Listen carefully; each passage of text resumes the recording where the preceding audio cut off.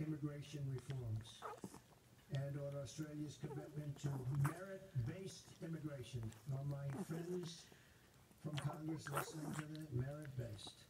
We want to do merit-based immigration also. And there you go.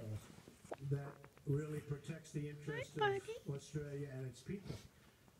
It's the way to Is go. it bath time? And you've been very successful with it here. Don't We're be shy.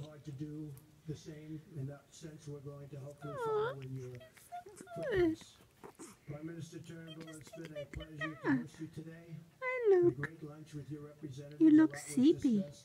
A lot of deals were made for the purchase of additional military equipment and other things. For a century now, the people of the United States and Australia have inspired the world with their determination, their bravery,